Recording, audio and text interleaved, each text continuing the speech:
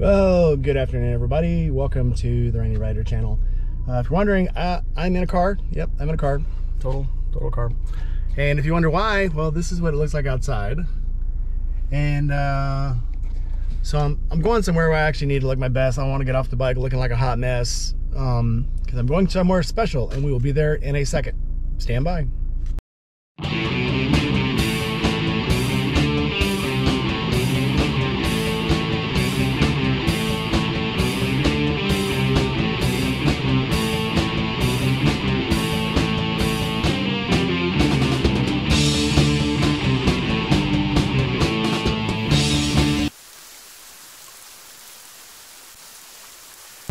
So could I drive on this in the bike? Absolutely, and I have. Um, here's the problem. Anytime before I've done it, there has been hardly anyone on the road. So um, yeah, it's been quite the hot mess around here lately and people start thinking they can drive in the cars and really can't. So yeah, with all this ice and the road messed up, um, I'm going to take my time. Uh, not gonna be in a rush to get out on the bike because people will kill you no matter how good your skills are, there are people on the road that are dumber than you. So you guys have always heard me say that uh, the bike can get you out of problems uh, easier than in a car. Because if you have a tight spot to fit to get out of the way of destruction, you can take that tight spot. But uh, in the ice, you're limited on maneuverability and speed and how fast you can accelerate and brake. And so people are dumb. So I'm going to, it's Mississippi. I don't have to wait a really long time to uh, get back on the road the, the snow will be gone tomorrow actually, and it's gonna rain, which rain and 50, you know, that's my jam. So that's what I'll be doing the rest of the week. So I'll be back with fresh new content. But for now, um, I guess I can go ahead and tell you, I was invited to Southern Thunder Harley Davidson to look at their bikes and do a little video.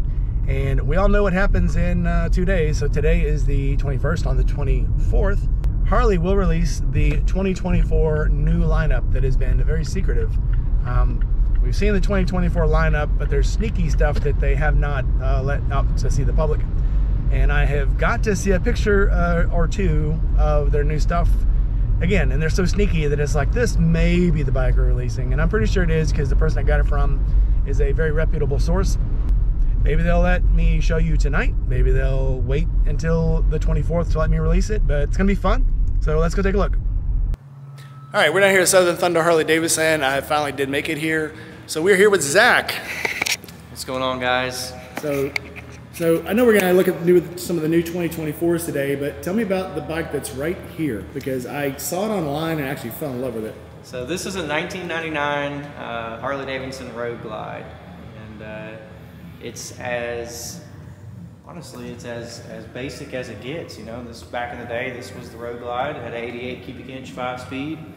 Uh, this was the uh, the crown jewel. You know, like it like it still is today. The Road Glide is the number one uh, highway bike. So it's got some minor features added to it. Uh, you've got the uh, the back guards. You've got the railing on the top for that old school custom styling. Um, it's going to have this this vintage uh, theme to it. You know, a lot of people were putting the uh, the Indian feathers on their bikes back then. This one's got that on there. You get the old school Harley Davidson made in the USA. Eagles equal horsepower. Eagles equal horsepower. I don't know about the 88, but this one's at only 43,000 miles. I've got bikes in here that are 2018s, 2019s that have way more miles on them. With a cassette player. With a cassette player. I, I mean, you can't get more 80s than that. I was uh, I was CD player area, but cassette player is pretty cool. Still has an aux auxiliary port on it too. I guess that's for a headphone jack. Very nice. Yeah, that's the actually plug in your. I don't know if you know about this, but yeah, when we had to start going over from cassette players to um, CD players or from 8 tracks, you could actually buy this cassette thing that actually would plug into your dash you didn't have that, you had a had a male-to-male auxiliary port. You could just plug it in. But that's what we had to use in back in the old days. I remember the cassette cassette ones. All right, so that's enough of that. We're gonna go look at the 2024s because that's what I promised you. So let's go upstairs. All right, we made it upstairs. There were a few things that we had to cover up on the bikes that we can't show. But uh, let's look at the new bikes, and we have a couple of, to compare them to. Well, first, I guess we can look at the old version of this bike. So, Zach, what tell us about it? Old version. All right, so this is a 2023 uh, Harley Davidson Softail Breakout. Uh, this is the uh, that year, 2023, is the year that they did a lot of major changes to this bike. Um, they uh, took the, the 114 out and slammed a uh, massive 117 cubic inch engine in it.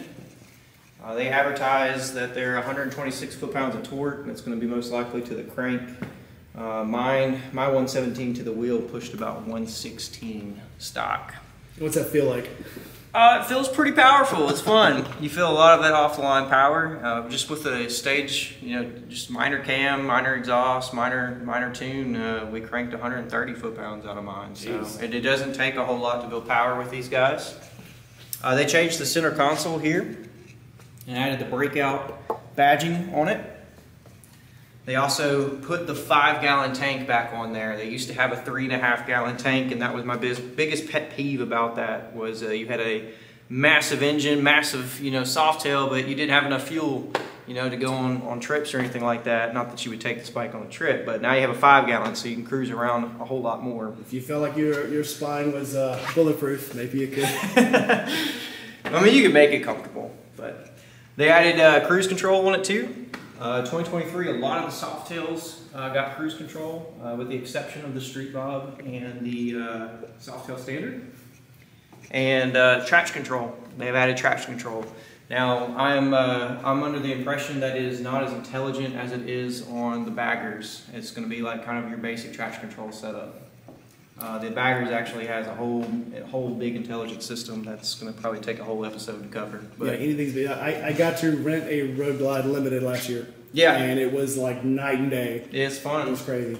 So comparing it to 2024, no major changes, just paint colors. So we've got this beautiful color here. This is called Blue Burst. So you know Harley's been doing a lot of reds lately. I guess we're going back into that blue segment. And uh, blue is one of my favorite colors anyway. My favorite color, yeah. Uh, this one has a lot of flake in it. Uh, reminds me a lot of the 2017 color called Superior Blue, except for it's got a lot of flake in it like Reef Blue, which we had in 2022. Man glitter. Man glitter? yep, I, I painted, so I got a, I got a 21 Sportster with a 3.5 gallon, or 3.1 gallon tank, and I put the 5 gallon tank on it, painted it almost exactly this color. So yes, I'm, I'm in love with this color, and the black trim just kind of sets it off. Makes oh, it yeah. actually look gorgeous. They did a great job on these breakouts. They have a perfect blend between chrome and black. It has a good uh, selection of both. I personally like blacked out bikes, but this one also looks really badass. Uh, this here is the, uh, the 2024 Tri-Glide Ultra. We haven't seen any changes really on these guys, um, just paint colors. They've been kind of the same since 2021. Uh, the only change they did in 2021 was they got rid of the clutch, uh, hydraulic clutch, and added a clutch cable. Since then, it's been relatively the same.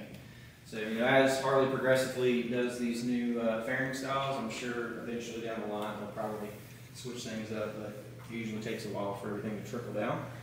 Uh, this paint color is called Red Rock in Vivid Black Two-Tone. It's kind of a clay color. Uh, online, it's kind of hard to get a good justification of it. It looks more of a crimson online, but it's actually more of a clay color. It's, it's unorthodox from Harley to do something of this style, so I think a lot of people will appeal to it. Like I said, I'm more of a blue guy, but it's not a bad color.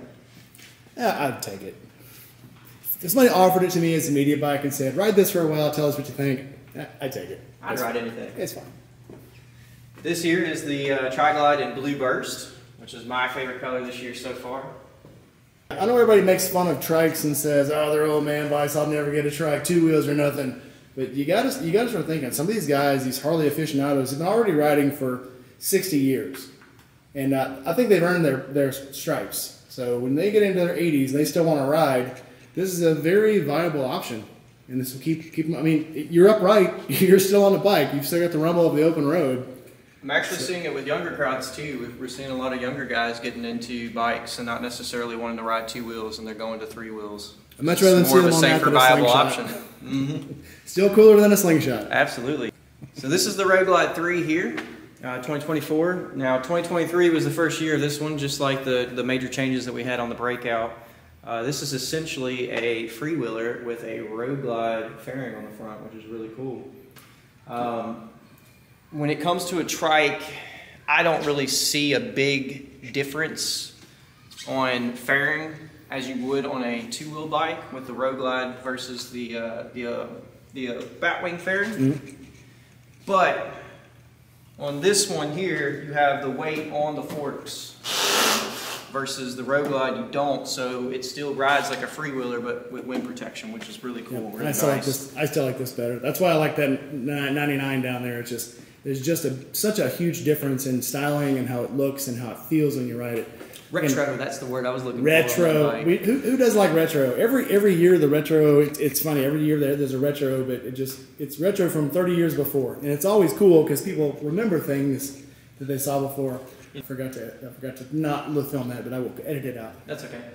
Speaking of retro, you know, uh, a lot of their colors, especially on like their Sportster models, are a throwback to their 80s AMF days when The they had the little stripes. Oh yeah. Mhm. Yep, yep. It is, those look very cool, and I remember those days. I remember Yeah. those when those bikes were new. Yeah. And it's funny to see people like uh, Jared Weems and some of these other people dig up these old 70s bikes and they're putting the AMF stripes on them. And it's like, that is just so cool. Yeah. Very I neat. actually I, I like them too. I'm a very retro guy. I've even got a, a, a 80s themed Harley jacket down there that I wear all the time. So what we got here? So this is a 2024 Ultra Limited. So we know as of right now that the Limiteds, Road Glide and uh, Electra Glide, and the Road King are carryover models at this point in time. Um, we'll wait till the 24th to see the new stuff. But this is called Shark Skin Blue, and this is another one of my favorite colors. Um, it reminds me a little bit of Gunship Gray, which is a color we had in 2022, but it's got that blue tint to it. It almost it looks like it looks like a shark. It does look cool. So I'm curious to see what it's going to look like on a uh, on a road glide. Uh, but as of uh, changes wise, we don't have any major changes. Uh, 2023, they did change the tank badge to a black chrome or mercury, however you want to call it. Yeah, that's a throwback too. That is that's well. a throwback to the 20s and 30s. That's a So- way back retro look. On the Tri-Glide, it has a similar badging on it as well. And it's also a throwback to when they first introduced the Tri-Glide. It is very neat. But other than that, like I said, no changes really uh, made on them except for color. So what do you think? So obviously the dealers are just in the dark as, as everybody else. What do you think the changes are going to be come uh, January 24th? What are they going to introduce? Well, so I this is just my um, my thoughts and what I've seen, you know, posted around. But I am pretty confident that they're probably going to be doing away with trim models on the Road Glide and the Street Glide.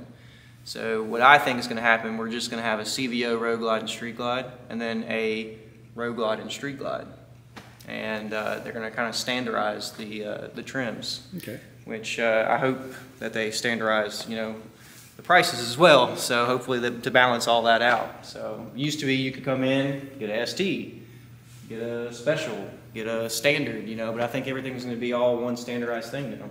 I think that'll be better for the consumer because there won't be such a huge variance of prices and and uh, you know you got to pick through them to see what you got. This this is probably easier for the consumer. It'll probably let the prices come down too because they won't have to have so many different things in in the factory to specialize each bike. Yeah, so I think in the long run, I think it'll be better. And it's probably going to increase, you know, custom, custom, uh, customized parts as well. So you know, everything's going to be a blank canvas. Uh, that's kind of how the Sportsters were. You know, the Sportsters are the most customized bike in Harley's lineup, and you know, for the longest, they've they've always been kind of cookie cutter. You know, they have few different models, same same look. Everybody makes it look different.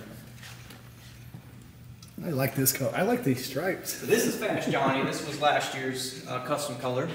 Uh, we didn't we didn't see a custom color for 23 like we did 22 and 21, uh, where it was available on several different models. Um, the Fast Johnnie edition was only available on your ST model, so that would be your Lowrider ST, your Road Glide ST, and your Street Glide ST.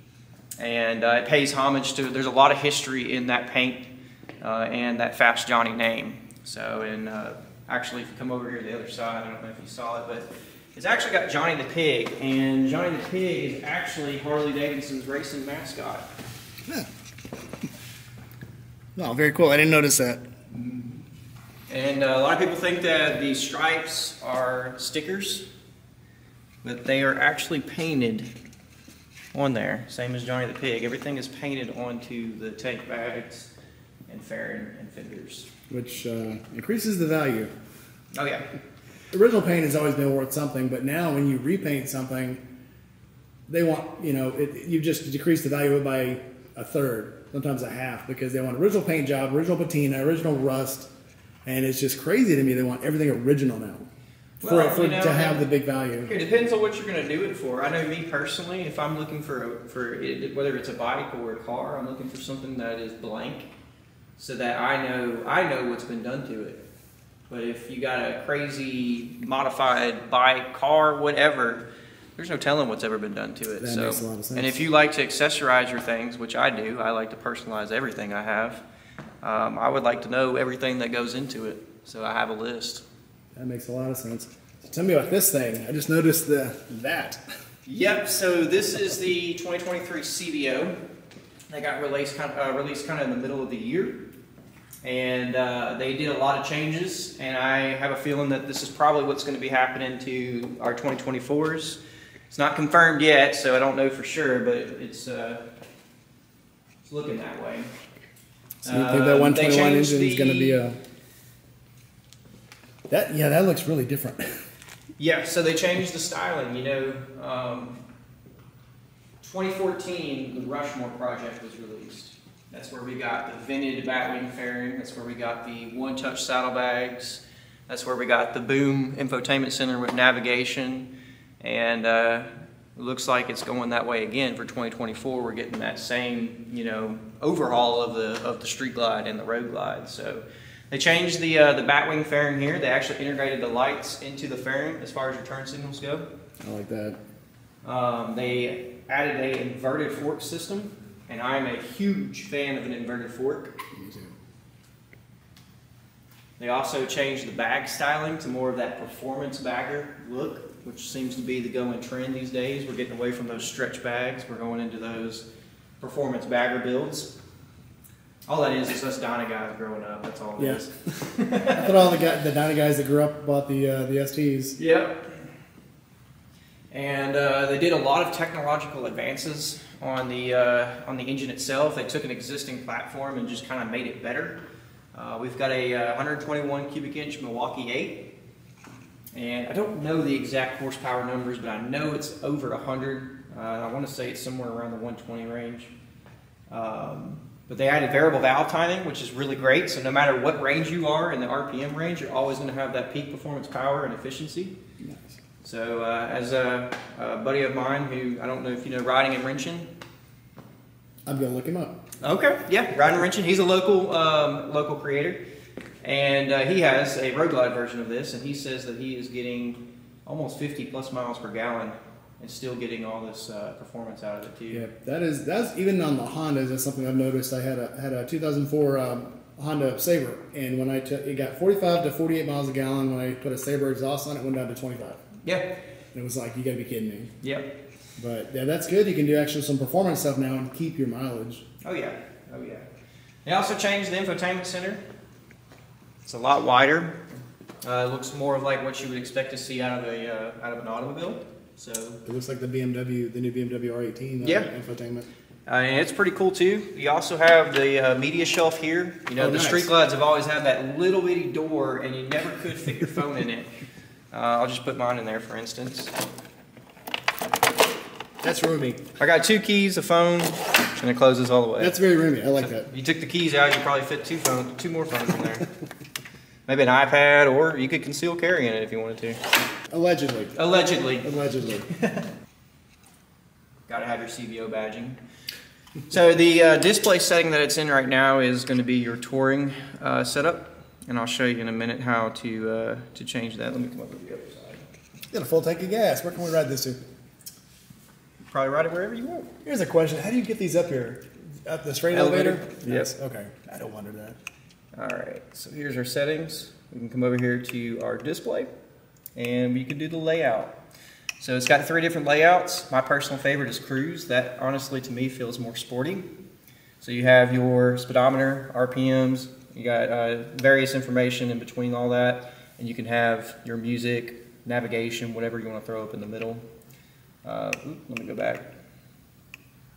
You can see it's very responsive, just like the GTS system from uh, last year's generation or uh, 2022's generation and older. That's your sport. Sport's nice because you can have this all integrated speedometer and you can have two different things going on either side. So if you want your music and navigation, you can do that. Uh, you can fully customize that however you want. And I keep backing this out of it. And then of course we have Tour. So Tour gives you just the basic information you need while you're riding so that you have a more, um, a larger uh, navigation section. Or music if you want to put music on there too. Of course you got your bike lock and unlock. Nice. and you got your infotainment. You can turn it on and off as well. Now it also has, if you have a smart home, you can add a garage door to it Oh, via nice. HomeLink. Mm-hmm. What's really cool this year about the Lowrider S and the Lowrider ST is um, the Lowrider S model is the only one you can get the shark skin on out of the two uh, Lowrider models. So that's the shark skin blue that we saw earlier on the limited. No major changes on these either from 2023 to 2020, uh, 2024. Now 2022 is where we saw the biggest update on this uh, on this bike. You know the uh, old school lowriders always have their gauges here on the center console. There was two. There was a uh, speedometer and an RPM meter. They have relocated it to the uh, handlebar. I personally like it. It's kind of a, a mixed feeling about it. Some people like that old school look, but me, I'm a performance-oriented rider, so I like to be able to see this without having to look down on my Yeah. tank, which is nice. That's a lot. That's a lot to look down on when you're in a city, especially when you're in city driving. Mhm. It takes you off the road for too long. They added the 117 cubic inch Milwaukee 8 in 2022, so the uh, Lowrider S and ST got a really big, uh, well, the ST was introduced in 2022. The S got a big overhaul. Um, they've always had the inverted fork since 2020. But um, 2023, they started adding cruise and traction control from the factory, like I said earlier, on, on most of your soft tails. So. Uh, this here is a Softail standard, and it is in billiard gray. Now, while billiard gray is not an entirely new color, uh, it was part of a two-tone option of 2023. It's now the base color option for all bikes uh, for 2024. So black or gray is the new black. It comes primed and ready to paint. Yep. I actually like it over the gunship gray. This honestly gives me more of that naval. Um, well, maybe not naval. It gives me more of that Air Force gray. No, this is navy gray. Is it? That's navy gray. Okay. Yep. That's me how I know. You, you were in the Navy. I retired from the navy. Oh, Yeah. okay. So that's that's navy gray. It, it gives me more of that military gray look, you know, that naval gray, in my opinion, or Air Force. I'm actually uh, pretty impressed with it over over. Um, you know, it's it's nice having another color other than black as your base too. So, Yeah. Uh, hopefully, black will no longer be the V2 paint job. Yeah, they, I think Harley's suffered enough jokes about every bike in the parking lot being black. Well, I like to blend in, so that's why my bike's black. this is the ST in Red Rock. You can get it on the Lowrider S as well, but like I said, the ST does not come in the uh, shark skin gray. You've got the black, you have billiard gray, and you have Red Rock available on the ST. So for somebody who rides all winter long, is there a way to to uh, do plugs come for these holes where you can block them off in the winter? They, um, I've seen on a lot of the um, the Softail pages and the lowrider pages of someone coming up with vents for them or block blocks for them. Yeah, probably easy to 3D print. I have a uh, I have a lowrider S. I don't have the ST, so I don't really. I have the the issue of not having any wind protection whatsoever. So the ST debuted in uh, 2022, and uh, they took an existing platform, the lowrider S, and kind of merged it with the Sport Glide. Put the saddlebags on the back. These are always been known as the Sport Glide bags. I call them the clamshell bags. And they're really nice. They can be removed on the fly with this unlock and locking system here. Nice. They have levers just like the big baggers do. One touch. Helpful.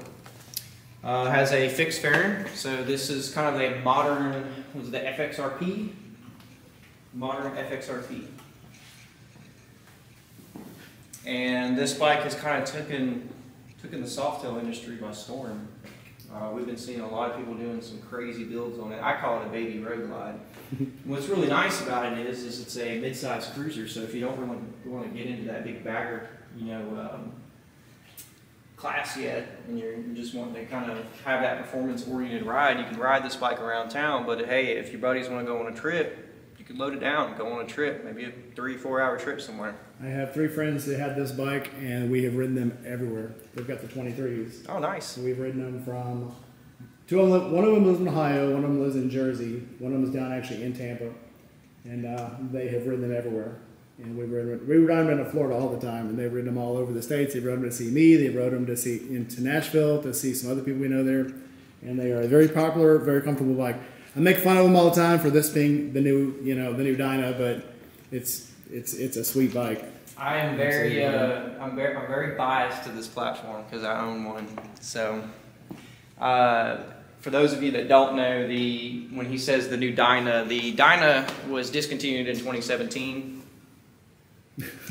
but uh, they took uh, the Dyna and the Softail and kind of blended it together. So you know the old school Softail frame, you used to have your shocks. You had two of them running underneath the frame here.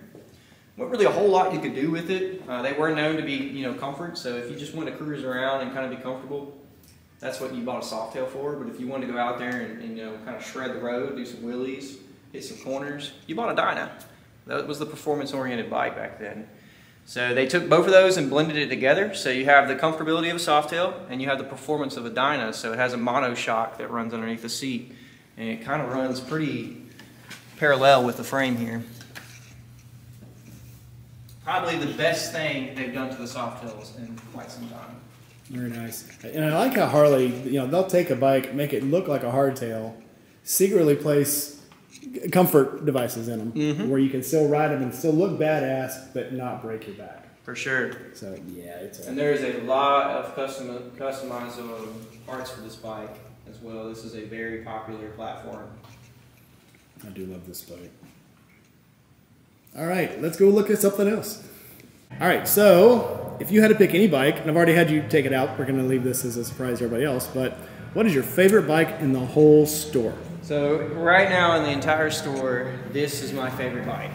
This is the Dyna Lowrider S. And in my opinion, this is the king of all Dynas and the, the father to the Softail Lowrider S.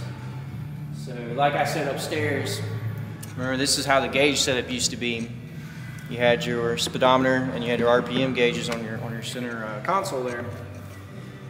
But what what stands out on the Dyna Lowrider S versus the Softail Lowrider S, and the uh, the Softail Lowrider S is a very impressive bike, very powerful, very refined uh, machine. But if you just want something that's just loud, proud, just Obnoxious. thrashes You can say around, obnoxious. obnoxious, just absolutely raw Harley Davidson, the Dyna is it. It's it's the king. And uh, this this is the one that started started everything. Not necessarily the, the Lowrider S, but the, the Dyna itself is what started the club style theme or the West Coast styling. And um, that's obviously my my type of bike, my culture. So this I- is my favorite. They have the 110, the Screaming Eagle 110. A lot of your CVO guys are mad because you had Dynas rolling around with 110 cubic inch motors. What's wrong with that? Ain't nothing wrong. Nothing wrong with that. I have a friend who has a bike very similar to this, except he has apes on it. So Howard the Dave, uh, yeah, this is for you, buddy. Obviously, I would choose a different exhaust. Those are going to be obnoxiously loud, and as I've gotten older, I'm not really into the whole, you know, super loud theme.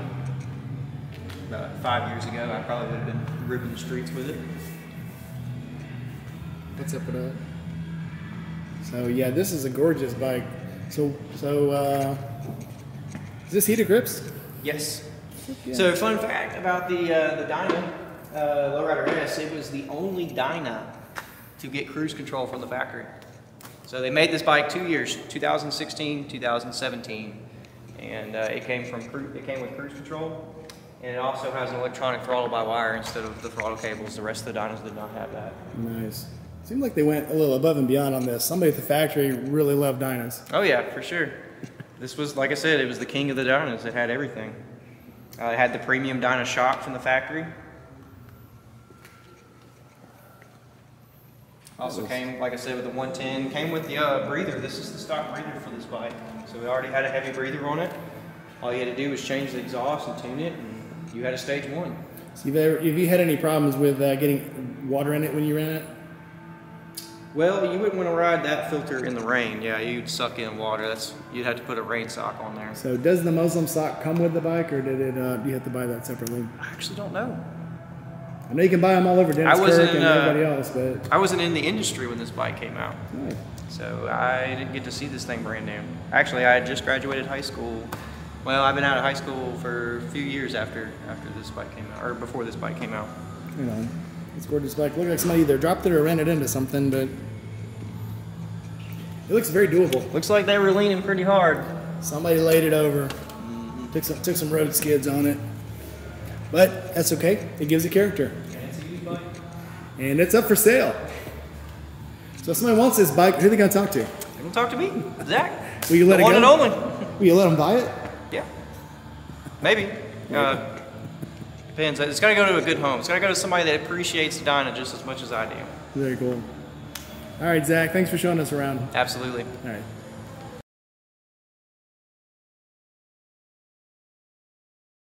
We're gonna have to go home now because if I keep looking at these bikes, I'm probably gonna end up buying one. So uh, we're gonna we're gonna fold it up for now. So that'll be all for this video. Like, comment, subscribe, hit that bell, and uh, I'll see you guys on the next video. Bye bye. Like, comment, Nada!